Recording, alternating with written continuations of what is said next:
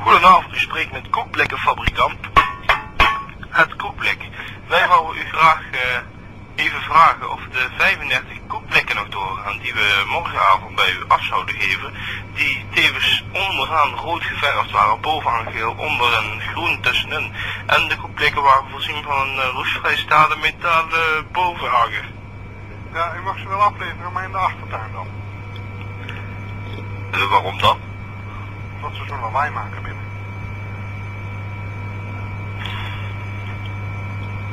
Oké.